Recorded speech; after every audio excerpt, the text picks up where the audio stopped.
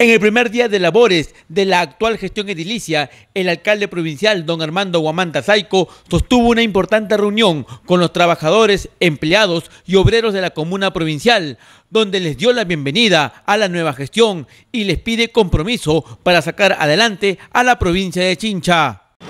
Por lo tanto, yo conozco la materia contable, conozco la materia legal, ¿ya?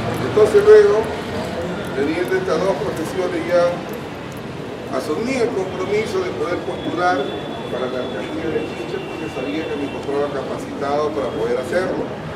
Que yo comprendo que lo, que, lo primero debe primar en toda empresa siempre ha sido para mí es el salario y el sueldo del trabajador. Ese es intocable con ese dinero del salario y el sueldo de trabajadores no se puede chocar de ninguna manera. Por eso es que yo ya me he contactado con el señor López, que es el presupuesto, y lo primero que he pensado es en ustedes. Señor López, hay el presupuesto para pagarle el sueldo de los trabajadores, la escolaridad, de los trabajadores. Y él me dice, sí, sí hay. Muy bien. Entonces ya me siento tranquilo al saber que ustedes van a tener esos beneficios que lo han venido teniendo en años anteriores. Me gustaría reunirme con ustedes para compartir una reunión de trabajo, por lo menos creo una vez al mes, con todos ustedes. Como también he dicho yo a los señores obreros, me gustaría reunirme una vez al mes con todos ustedes a efecto de poder ir conociéndonos un poco más y que también me alcance su problemática que ustedes tienen. Porque nosotros como empleadores estamos para apoyarlos a ustedes.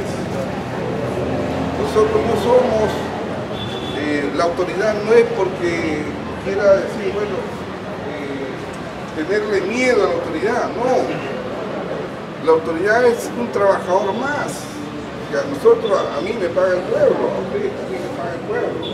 Por lo tanto, solamente la única diferencia es que ustedes son empleados estables, permanentes, y yo soy un trabajador más acá que me ha elegido el pueblo solamente por cuatro años.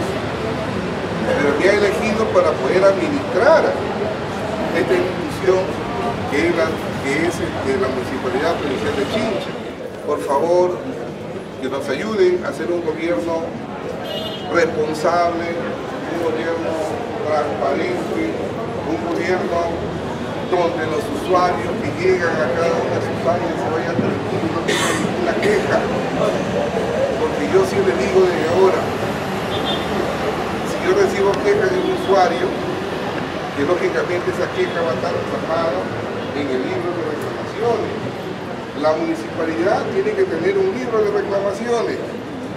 Entonces, cuando alguien se sienta maltratado por un empleado que debe darle un buen servicio, esa persona va a inscribir el libro de reclamaciones y eso se va a trasladar a INECOPI. INECOPI me va a decir a mí, señor, que tiene que sancionar a ese trabajador.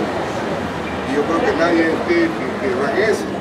Señor Armando alcalde de nuestra provincia, como secretario general del Sindicato de Empleados de la Municipalidad Provincial de Chincha, en representación de cada uno de nuestros afiliados, trabajadores en general, le doy la bienvenida a este centro laboral que es la Municipalidad Provincial de Chincha. Nosotros como trabajadores siempre nos hemos involucrado para que nuestra ciudad sea más bella. Siempre nos hemos involucrado para dar una buena atención y lo vamos a continuar realizando y quizás mejorar aún más lo que usted viene mencionando en este momento. Por eso, señor alcalde, le damos la bienvenida y nos comprometemos, cada uno de los trabajadores poner nuestro esfuerzo para hacer una mejor, administración municipal y para que Chincha se sienta orgulloso de nosotros los trabajadores de la sociedad. Yo salí electo, inmediatamente los dos días salí a tocar puertas del ministerio. salí a tocar puertas para ver si quién era el presupuesto del Congreso. Fui y conversé con el señor responsable del Congreso, porque ya me preocupaba un tanto de qué, qué voy a hacer por Chincha. Se me viene ya el verano negro.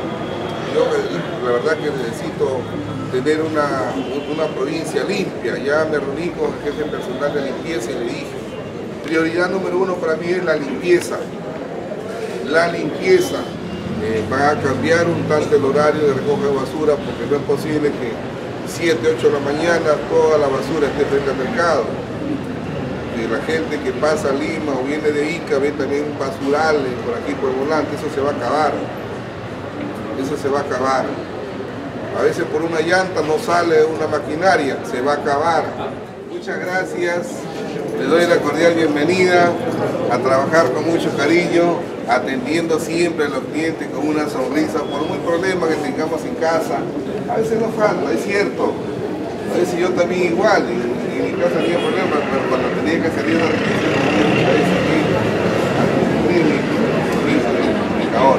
Entonces ustedes, por favor, siempre atender bien a los usuarios. ¿Ya? ¿Ok? Bienvenidos y a trabajar. Muchas gracias.